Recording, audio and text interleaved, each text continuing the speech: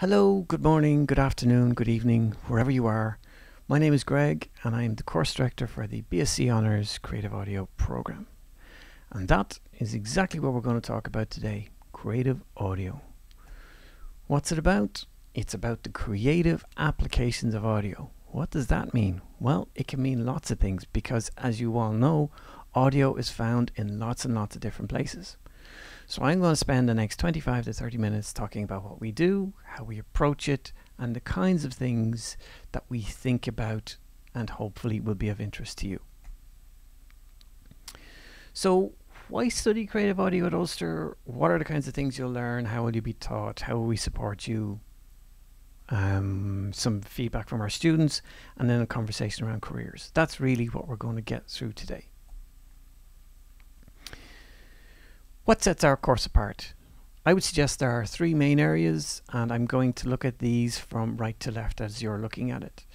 So the industry relevant part is really, really important. Before joining Ulster, I spent 15 years working in industry, and I'm not unique in that case. The majority of the staff that you work with all have industry careers and indeed still work in industry.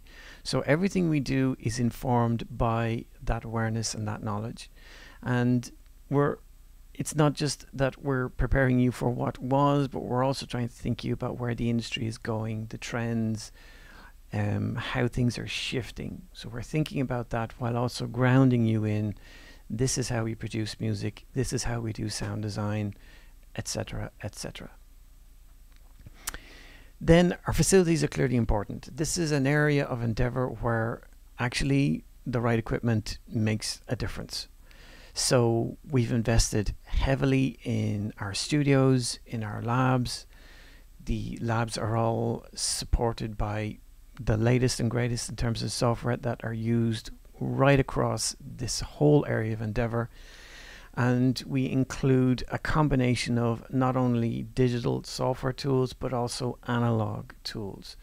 So some of that might sound a little older, but it's actually right the way the industry is going, and um, they all have well, they all have nuanced offerings. They all make a slight difference in particular ways, and it's good to know both. So actually, you can see a picture of a console here. This is our main console in Studio One, um, which you'll get to spend lots of time on. Then the last piece of this puzzle is the personalized teaching support. I'm going to mention this later on, but I might as well mention it now. Our class sizes are deliberately small so that we can provide you with that uh, much more closer um, support that you need around your projects, um, around what it is that we're learning, to give you that much more tailored uh, tuition in what it is that you want to do.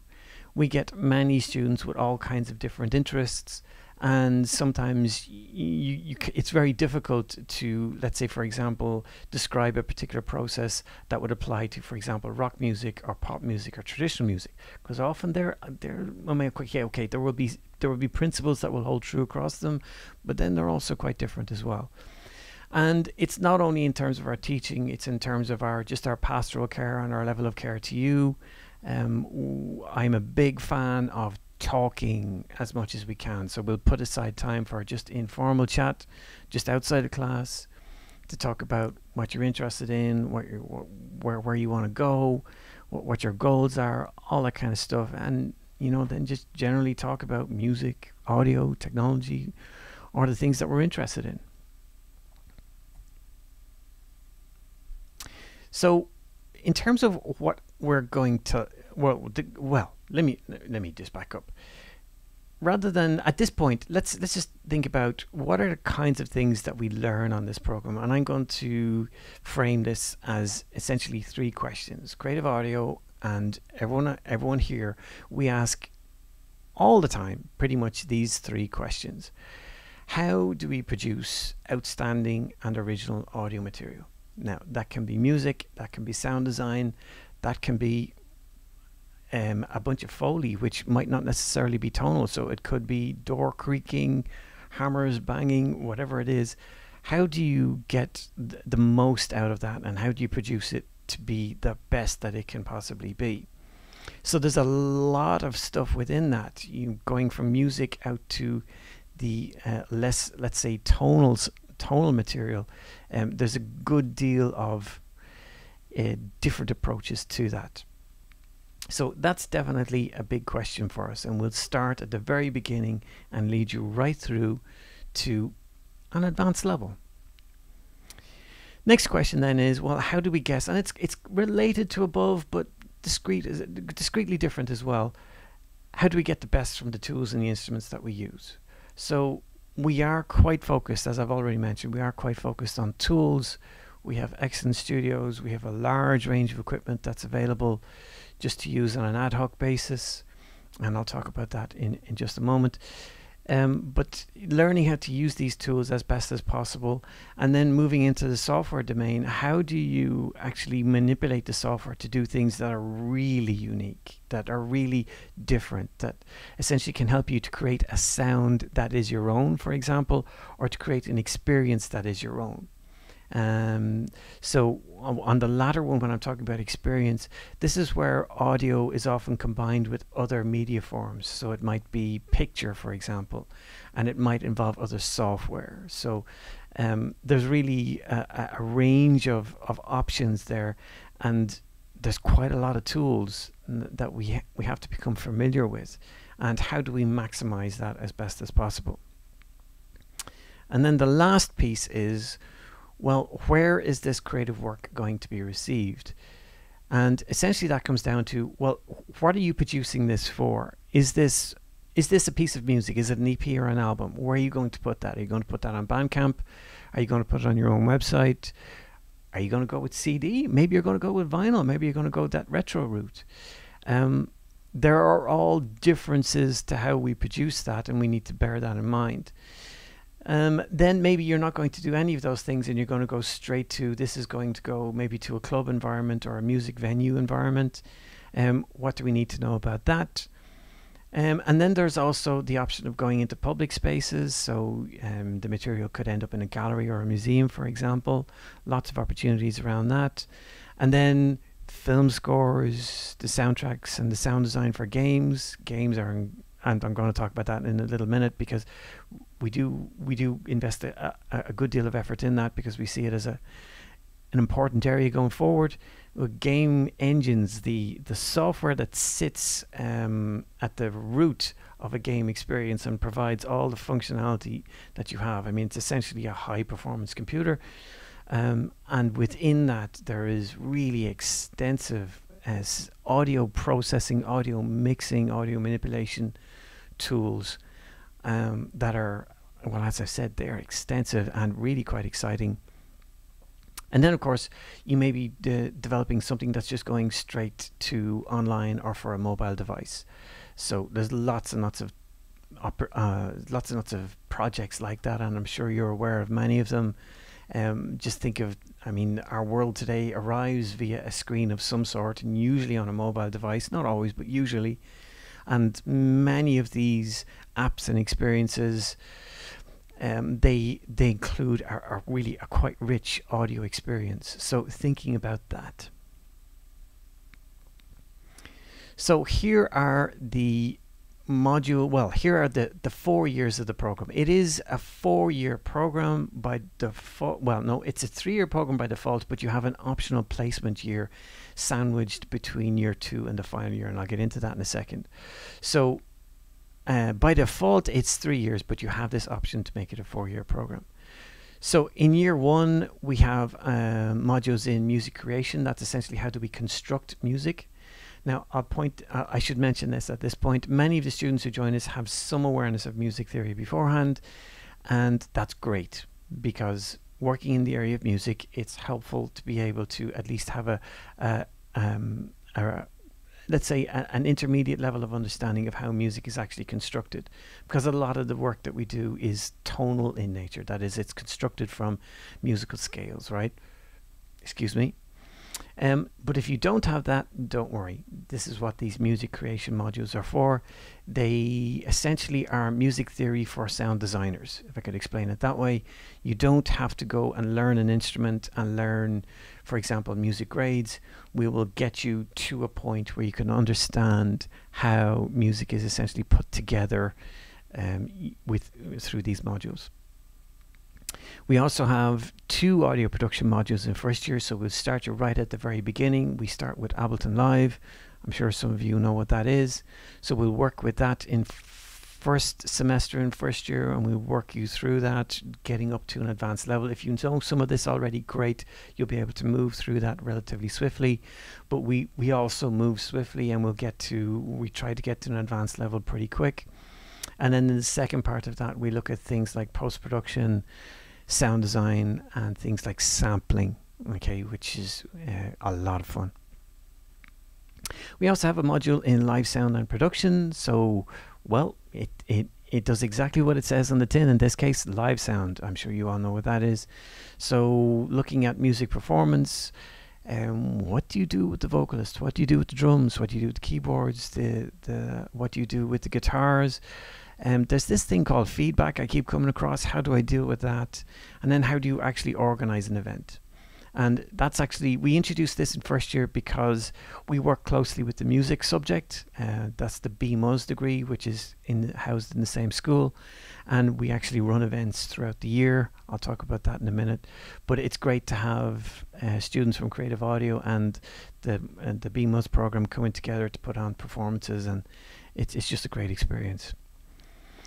We have a module in designing sound. So sound design is a big thing for us uh, because it's it's really quite important to the future of audio, and, and that's that's just the reality. So designing sound is how we design sounds from scratch using various bits of software, microphones, and processing tools. How do we how do we create sound that achieves a particular thing? So it's it's less of the experimentation and oh eureka I found something that's interesting and more I need to produce something that does this. So how do I go and do that? Um, really really interesting module, and then it is a university. De- yeah, it is a university degree, so we need to take a look at some of the historical elements. So sound technology and culture achieves that, and it's really looking at great artists and great genres and great ideas within this area over, well, through, throughout history, but relatively recent history. Um, moving into second year then, second year is a lot of fun and I'll tell you why. Sound recording and production and creative computing, those two modules, they're actually double modules. So audio production is split up into audio production 1 and audio production 2. Live sound production is one module, designing sound is one module, sound technology and culture is one module. But sound recording and production, that's actually a double module. So it's it's essentially two modules dedicated to just that topic. So for that module, we get really deep, deep, deep into recording music into the land of, into the world of studios and all of that uh, production and in, into advanced production. So you'll have to produce a track, again, working with the music students, and uh, you'll also then have to uh, produce a lot of experiments. So, for example, on a particular day, go into the studio and do nothing but strings. It could be violins, it could be acoustic guitars, some stringed instrument. Another day, do drums.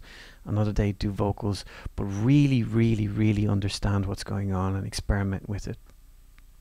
So we get really detailed on that one because it is an important area.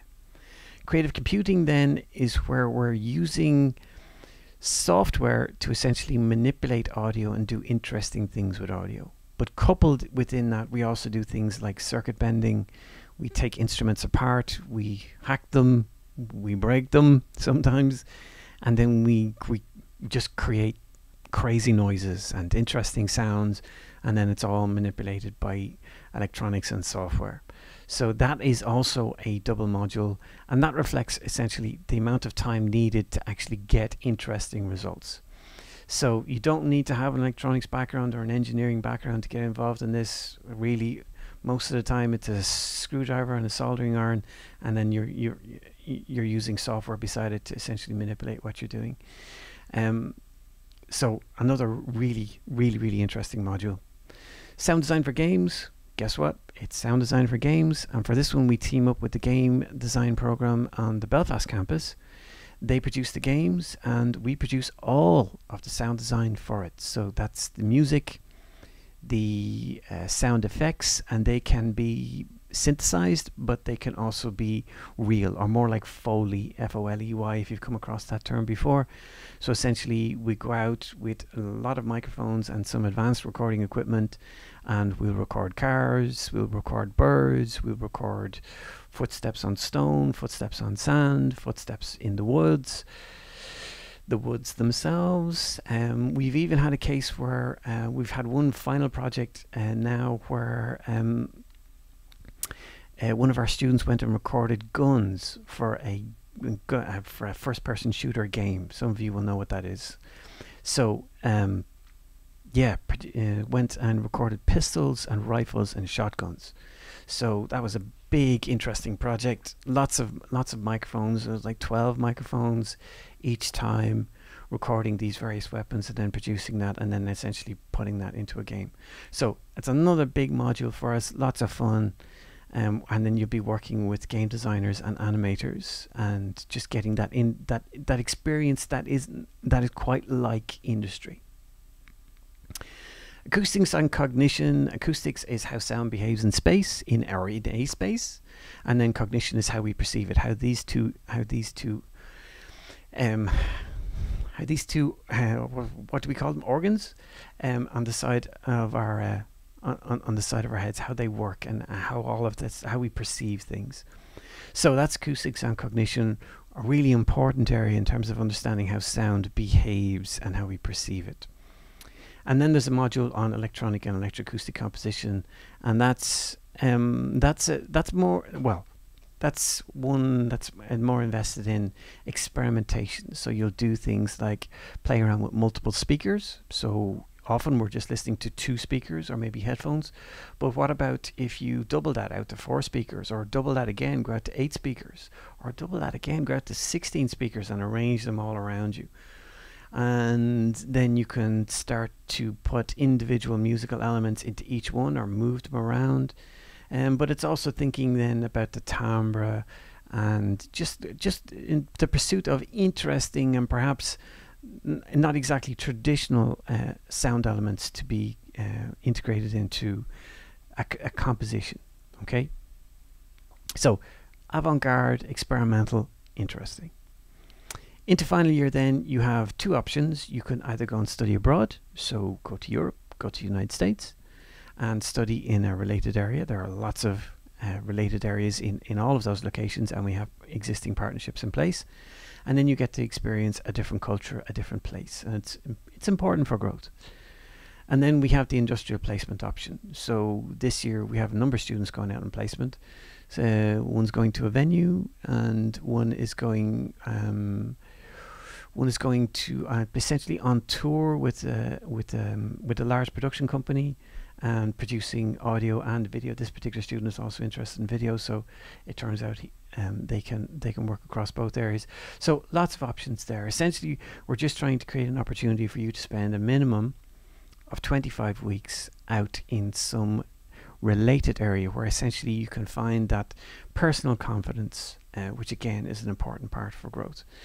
Now, all of that is optional. You don't have to do it, but we would recommend that people at least think about it um, because it is a valuable uh, experience. Into final year, then we have uh, lots of options.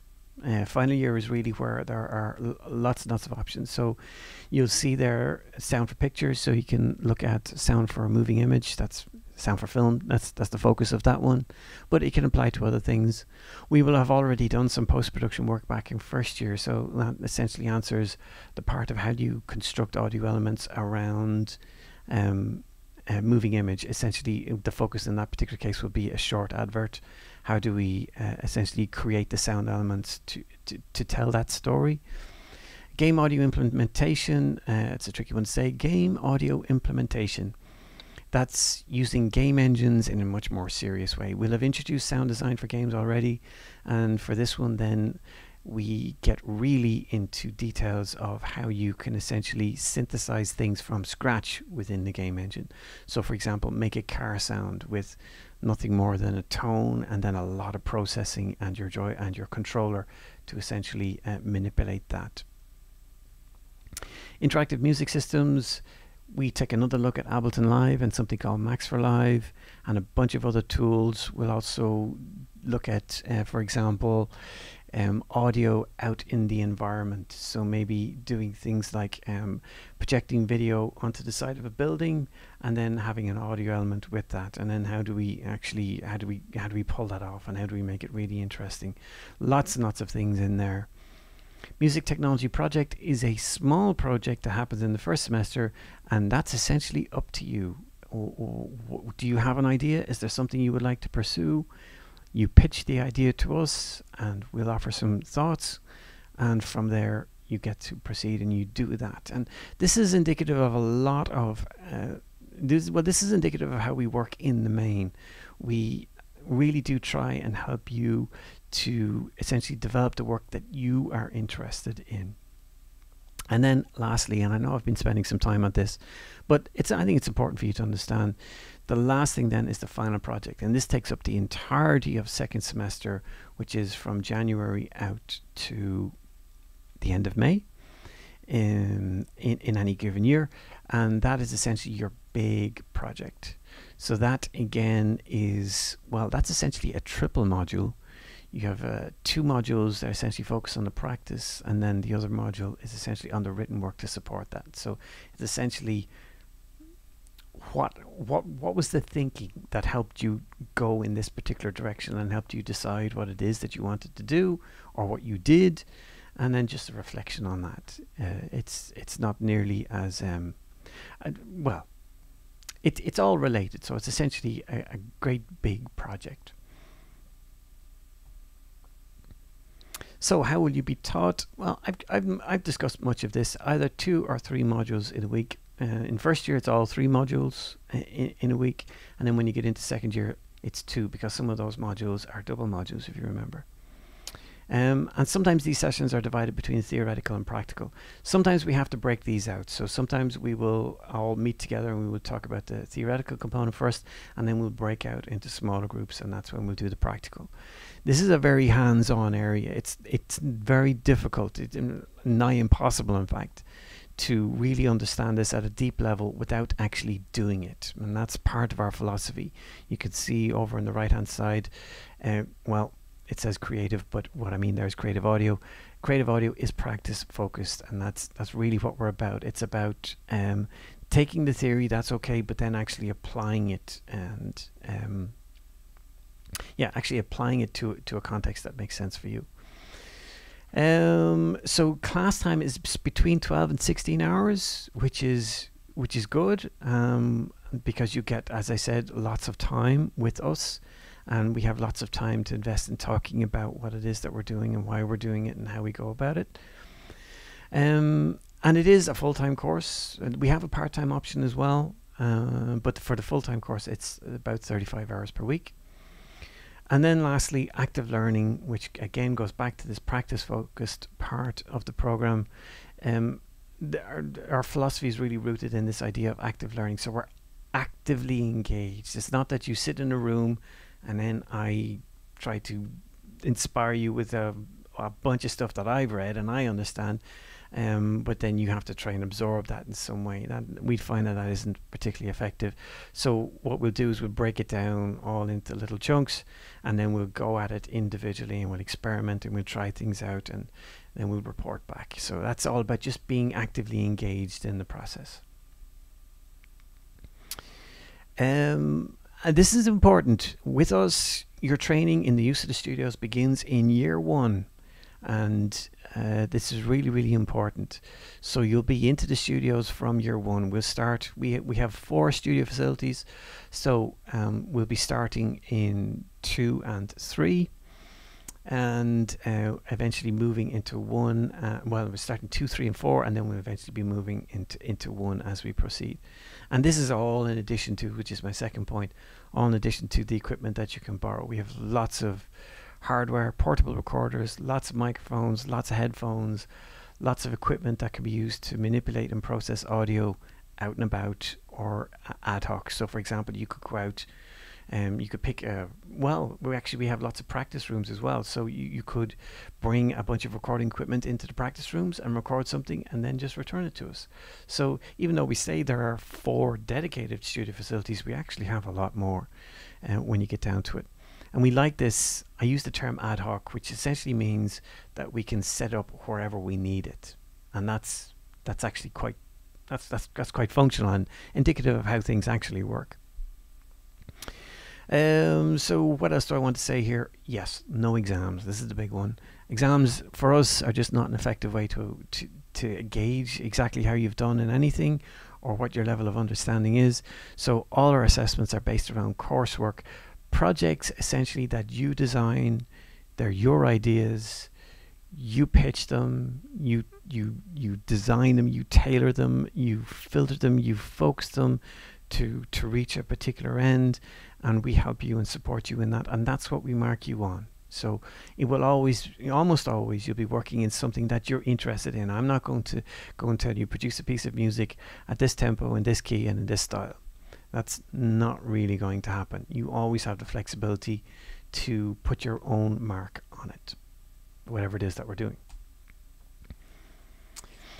So I think I've touched on a lot of this. How are we going to support you? As I've mentioned, the one to one mentoring is really important. I really, really find it important to speak to everybody. And uh, from year one, we'll set aside time where we get to talk about what you're interested in, what your hopes are, where you're interested in going, and any questions that you have. As I've already mentioned, active learning is a big part of it. All your projects will have dedicated supervisors um, we have an open door policy, so not just for me, but also for, for all of the staff. You can we're all very approachable um, at any time. We have extensive on and offline resources, so um, we have lots of tools, for example, that can be accessed uh, from home. So uh, you'll be able to work on materials from there if needed. Uh, we have a really good library that's stocked with lots and lots of interesting materials. And as I've already mentioned, we are industry focused. The class sizes are deliberately small, and the university itself provides outstanding student support. We are number one in Northern Ireland for student support, and uh, particularly over the last two years, this has really been shown. Um, we are excellent in this. Uh, we're excellent in this area. So what I haven't mentioned is where are we? Well, we're based on the Magee campus, which is Northern Ireland's, well, we refer to it as Northern Ireland's second city um, after Belfast. Um, Derry or Londonderry, it has a really vibrant cultural sector. There's lots of venues. Music is a very big area of endeavour here, and there's lots of festivals, lots of events going on all of the time and you can see down the bottom, it's one of the most affordable, and it was well, officially one of the most affordable places to live in, in the UK, but it's also one of the friendliest. And you'll know by my accent, it's not a Northern Ireland accent. I am here many years now, and I really am amazed every day at just how friendly everybody is. So we are on the Magee campus, as I've mentioned, and it's just a, a really it's a, a, city that's alive with music and activity on on the art side. We have four studios. There's two dedicated computer labs. We're based on based around Apple Mac very much. All the studios are running Mac and the labs are running Mac. Please don't assume from that that you have to go and buy a Mac when that time comes. You know, let's have a conversation. But right now, we provide you with all the tools you need. Um, and then we have lots of performance spaces. There's four, yeah, um, and possibly a new one on the way. And then, as I've mentioned before, we have an extensive selection of equipment available for field work. Essentially, you can just put in for a loan and you can take the equipment and do whatever it is you need to do, which is really quite something. And when I say it's an extensive selection equipment, I do mean it's an extensive selection equipment. We have some really, really good stuff. So I'm not going to read this to you. This is some feedback from our students. You can just take a moment to read that.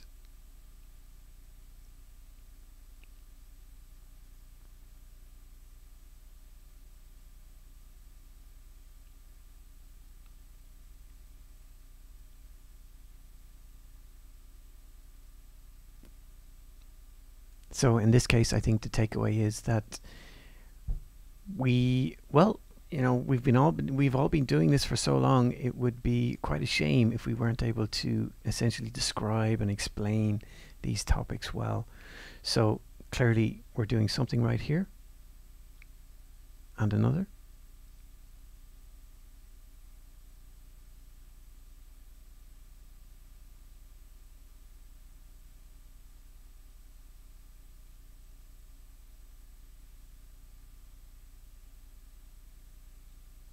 And the interesting part here, I think, is just the the the point around the breadth of the material that we cover, because we do we are trying to prepare you for the future of audio, and there are many pathways in that. This is a short one, but I think it's important to remember that this won't, well, depending on where you're coming from, um, what's what's really different about university is that you're moving into an environment where essentially you're in a class of between 24 and 25 like-minded and creative people. So it's a very different environment. And in many cases you will meet with collaborators and friends who will be that way for uh, many many years to come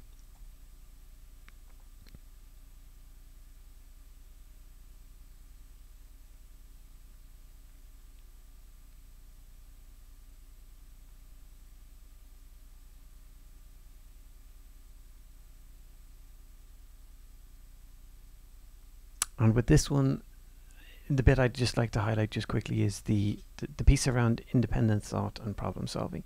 Because these are what we refer to as transferable skills. Yes, they're important to audio, but they're important for lots and lots of other things throughout your life and your career. And it's good to see that. So in terms of your student experience then, we have a student society and uh, I mentioned, I, well, I briefly mentioned this earlier on. This year we ran, well, we ran one, and there will be one more um, before the year ends. Uh, gig, and we ran these in a local venue. So it was uh, seven artists, and the whole thing from beginning to end was scheduled, produced, and run by uh, creative audio students, which is really phenomenal to see. Um, and we're going to do lots and lots more of that. We also have a more traditional music society. Well, but there's a music society, and then I, am using confusing terms here. There's an Irish traditional music society, music society, and a music society, and you're free to join all of these things. The traditional music on this uh, campus is is is vibrant. Um, we also have the choir, which many creative audio students join, and even if they don't join the choir, they go out with the choir and they record the choir. We've just done that one recently. So um, the choir did a number of events uh, around Northern Ireland, and Creative Audio students went with them and recorded each one. Again, um, it's a large choir, about 60 people in it, and in really interesting spaces, just acoustically. Again, back to our acoustics and cognition module. Uh, it was really interesting acoustically, so we went in there with uh, a bunch of portable equipment and lots of microphones, and we did some interesting work there. There's also a jazz band. You can guess what that does. And then there's a number of festivals. Uh, one is called Oscillations and Modulations, and which is actually um, run by some of the staff uh, on the Creative Audio program. And then I'm sure some of you will have heard of the Celtronic Festival, which is the largest electronic music festival on the island of Ireland. And we work with the Celtronic people on an ongoing basis. So I mentioned transferable skills earlier on, the independent thought and the problem solving. And when we speak to employers, these are the these are the skills that they're really interested in. Um, yes, being able to use particular tools and being able to produce particular things are important, but actually being able to be creative, come up with ideas, plan those ideas, deliver those ideas, collaborate with others, and then communicate that all the time and communicate well. This is, in fact, what employers are really looking for. And this is embedded from the very beginning of the program. How we work is essentially rooted in industry practice. That is, we try to echo, we try to parallel, we try to essentially parrot what happens in industry so that this isn't going to be like school or further education. We try to recreate an industrial ish environment and we try to work along those lines. So, future careers then, where are the possible destinations for someone interested in this area? Well, sound design, as I've already mentioned, is a really big area because it just covers so much. And you know, I've I've spoken really quite at length already about games, so I'm not going to do any more on that. Film is a big area. Northern Ireland is just buzzing with film activity, and we also have the cinematic arts program in the same school, and we're working very closely with them. So creative audio students can produce music and do all the audio for example a film. They could do that as a project and TV and documentary similar. And the production isn't all that different between them. And then something I'm broadly going to refer to as audio storytelling, and I'm including things like podcasting in that because really podcasting, okay, it started very much as well, kind of what you're listening to me here now. Some somebody speaking into a microphone, um, or maybe two people speaking into a microphone. But increasingly, we're finding the production values of a lot of this. Uh, this format, let's say, um, are increasingly advanced. So you're moving into the domain of much, much more detailed sound design work um, involving music, voiceover, sound design, effects, and, and lots of um, lots of production work around that. And this is one of these unique aspects to audio, which I haven't really touched on. But if you want to, for anybody creating material, um, I, the term they the term that's thrown around today is content, which I'm I'm not crazy about, but personally, but let's say if you're in the business of producing content for a particular audience, when you choose the audio only route, there's something about audio that makes it much more intimate. It gets to people much more deeply because not having the, the the visual domain can be a bit of a distraction sometimes. So audio goes much more deeply, more quickly. Um, so that's why I'm calling it audio storytelling, telling a story with audio. And that will also include things like post production, so things like advertising and marketing. It's and these are all very busy areas, and um, there is actually some very interesting work being done.